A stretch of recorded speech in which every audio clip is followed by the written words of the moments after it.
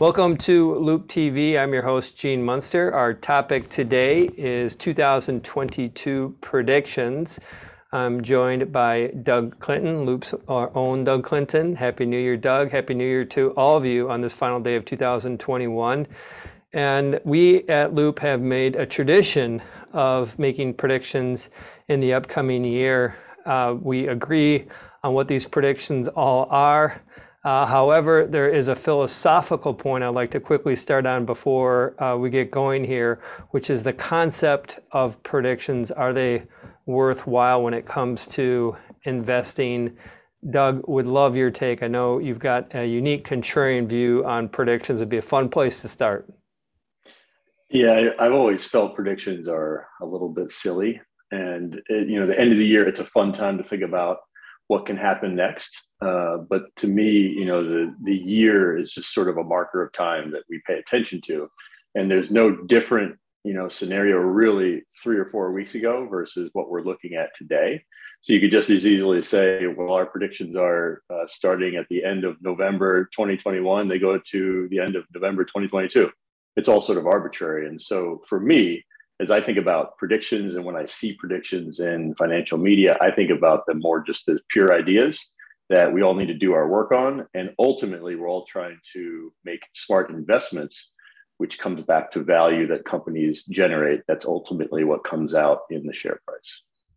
Makes sense and agree with that. You got to get it right.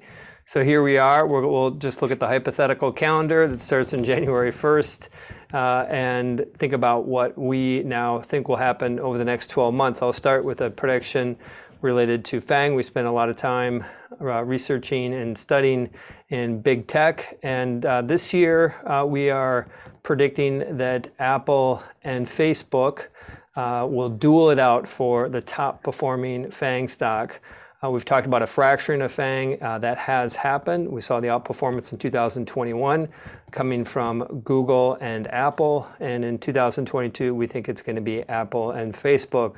Uh, the reason is the metaverse, and there's been a substantial amount of hype around the metaverse, but there is a flight to quality we expect in 2022. The volume, the noise around the metaverse, we think will continue to rise, and we think that there'll be this flight to quality with bigger tech names. We saw the same thing in the EV space in 2021, where the top three EV companies uh, were up 220% if you look at their uh, uh, last private rounds through the end of 2021, where the next uh, basically 10 were down 45%. And so this massive flight to quality, even though EVs was a huge theme, uh, we kind of see the same thing happen in the metaverse of flight to quality, and Facebook and Apple will participate in that. And I'll kind of draw forward the another uh, prediction here that relates to uh, this top FANG uh, expectation, which is uh, we are in the consensus group that Apple will showcase, not ship, but showcase an MR headset, mixed reality headset in 2022. We think it's going to be at the June WWDC, the developer conference. And this is a big deal, and I wanted to bring you and Doug and uh, hear just a little bit about. Uh, let's just kind of fast forward and say we are correct on this prediction that Apple does show a mixed reality headset. Why does it matter? I think it has to give a boost to the industry. I, I, sort of remember the Apple Watch. I mean, Apple Watch was not the first smartwatch that was in the market. Google, uh, through Android, had several watches. I remember a Samsung watch. But the idea of a wrist worn wearable really didn't take off until Apple brought theirs to market. So I think that Apple sort of lends legitimacy to these big themes. When they say we're going to do something, they usually do it with pretty strict intention. And so I think for them to make a headset or at least announce that they have one coming, I think it would say that, you know, they're, they're going to start to make that thing mainstream, just like we saw with the watch. Agree. And it is a new product category. The watch, as a reminder, took several years before it really gained traction. I think it's probably the same in, t- in terms of some form of uh, wearable, but that was our, our second uh, prediction. Moving along uh, to the EV, we think that the theme of EVs is going to cool off. I kind of framed in what the performance was of the, the biggest three that would be Tesla, Lucid, and Rivian. in 2021. Uh, uh, Again, the Rivian and Lucid uh, starting points, so that 220% average started at a private, their last private rounds at the beginning of 2021. And would love your take, Doug, on, on this thematic prediction around EVs. I think, well, there's one thing we've talked a lot about at Loup, which is this idea that whatever big theme, and again, we'll go back to the arbitrary calendar year, but whatever big theme worked in the year prior, it doesn't often work two years in a row. And particularly in tech where things get heated before there's really substance there. I mean, to me, you look at the, the EV space and you expand it even to broader auto OEMs and Ford was up 130% last year. That was uh, actually a call that we had made uh, relative to one of our other products, our Frontier Tech uh, index that we have an ETF built around. Um, we said that Ford would outperform Tesla, and that has proven true.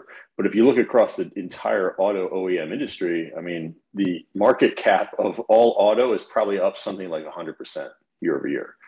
And I think you just see things like that happening, and EVs are still a very small percentage of the market.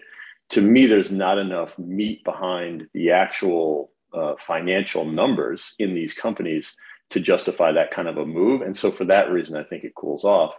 It doesn't mean we don't believe in EVs. I think it's just a normalization in terms of what the market is pricing in relative to what's actually happening. Agree. And a, second or an additional prediction that relates to that is delivery numbers for Tesla, Rivian, and uh, Lucid.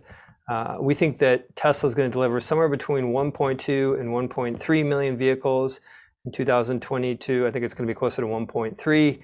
Uh, the street is at 1.2 million today. In the case of Rivian, the street's around 42,000. We think that they'll come below that. And with Lucid, the street's at around 22,000, and we think that it will come in uh, below that as well. The reason for the misses uh, related to Rivian and Lucid is this production hell that Elon described in 2017 when they were starting to ramp uh, production of Model 3.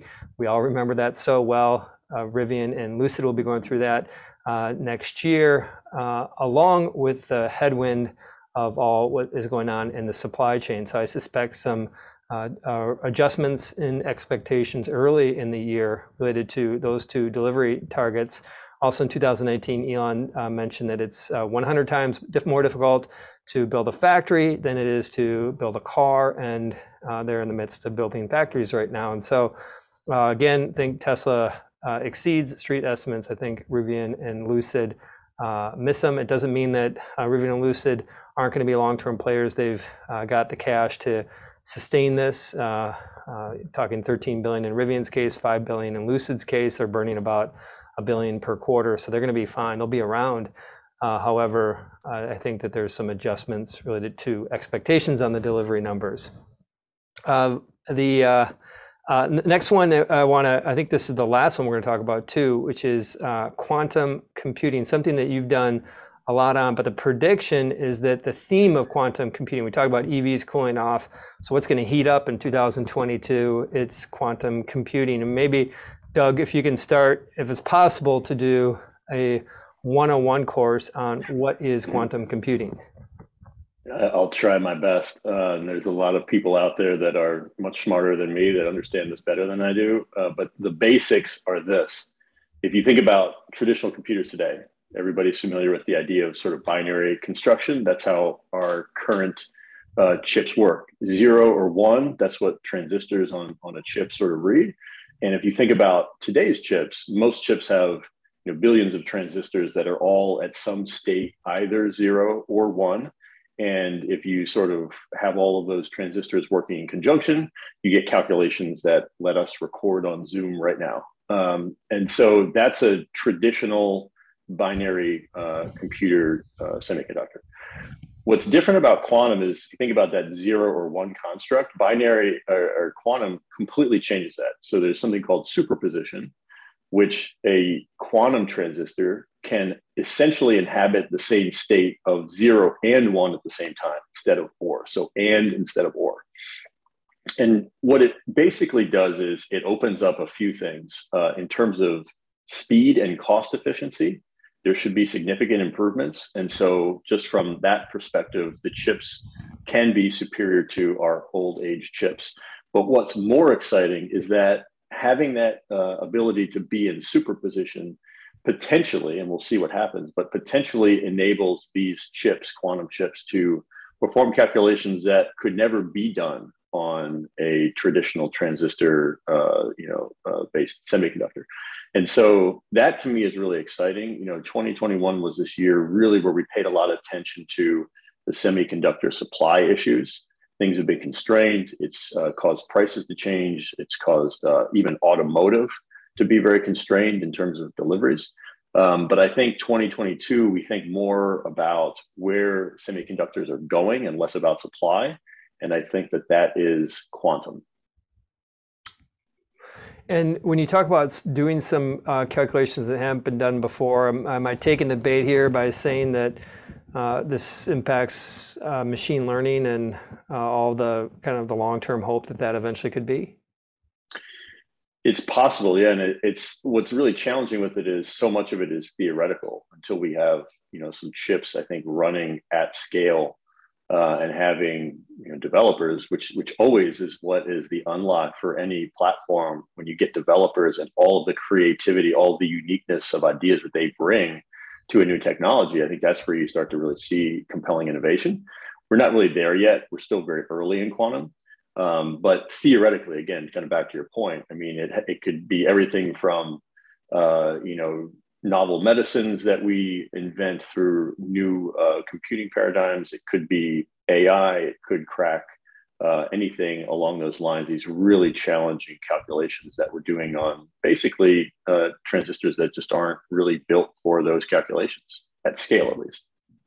And then on the energy efficient side, because it can do more calculations more efficiently, I guess that they would run cooler and just take up less juice too. Um, they can do bigger jobs too, which take up more juice, but in theory, this should be more efficient from energy consumption standpoint, correct?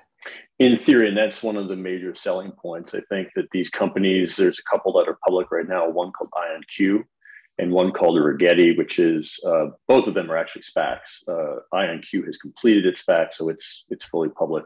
Rigetti is engaged in a SPAC transaction that I think is supposed to complete sometime the first half of next year. But those are the selling points right now, some of the major selling points from both of those companies. That's correct. Uh, I was remiss to mention we are not investors in IonQ or Rigetti. We are investors in Facebook. Should have mentioned that earlier in uh, the conversation. And I guess when you, you put all this together, some big companies in there too, uh, Google, Microsoft. Is this going to kind of be the same thing we saw in EVs, where, uh, or what we could see in the metaverse, where uh, these little companies make some noise for a short amount of time, but really the substance of what's going to go on in quantum is going to come from the bigger companies?